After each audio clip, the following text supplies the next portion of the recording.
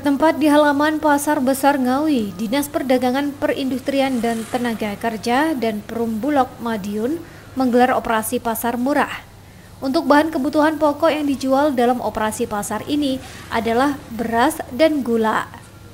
Untuk gula pasir, saat ini harga di pasaran sudah mencapai Rp14.000 per kilogram, dijual dengan harga Rp12.300 per kilogram.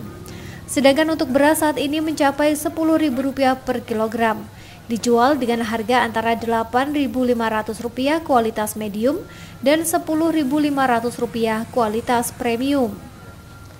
Pelaksanaan operasi pasar ini telah dilaksanakan mulai tanggal 17 hingga 20 Januari ini di dua pasar wilayah Ngawi, yakni Pasar Beran dan Pasar Besar Ngawi. Melihat tingginya antusias masyarakat, maka Pemkap berencana mengajukan kembali perpanjangan operasi pasar, namun melihat kondisi harga di pasaran terlebih dahulu.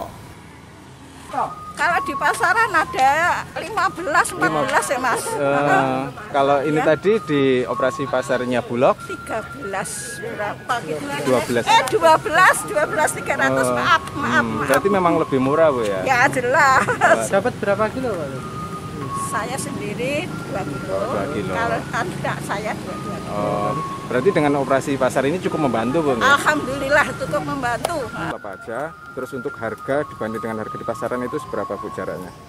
Untuk operasi pasar ini sementara hanya gula sama beras. Hmm yang untuk gula untuk di pasaran ini sekarang sudah mencapai 14.000 hmm. tapi kalau untuk operasi pasar ini gula dengan harga 12.300 hmm. untuk beras di pasar sudah mencapai 10.000 hmm. kalau di OP ini untuk sejenis medium dijual 8.500 untuk premiumnya 10.500 hmm, gitu. pelaksanaan operasi pasar dilakukan mulai kapan sampai kapan Bu?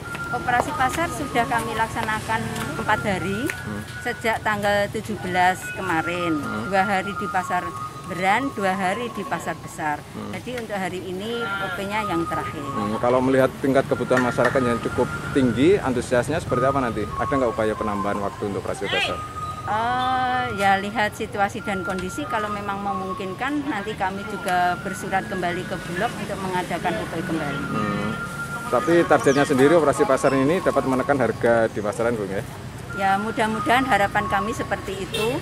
Dengan adanya UP, maka harga akan kembali stabil. Saat ini pelaksanaan operasi pasar dilakukan pemerintah sebagai upaya intervensi terhadap tingginya harga kebutuhan pokok di pasaran saat ini. Diharapkan dengan operasi pasar dapat menekan laju kenaikan harga dan kembali pada harga normal. Ita Wahyu, CTV, Ngawi.